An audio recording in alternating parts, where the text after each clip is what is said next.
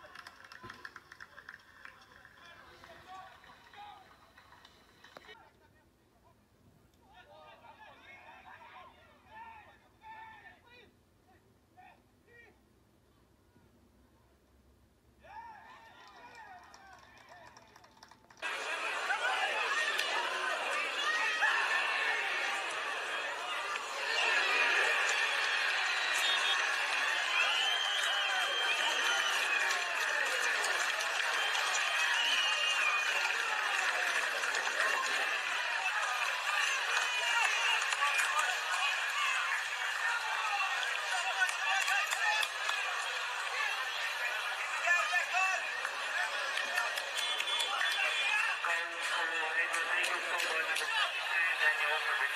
you.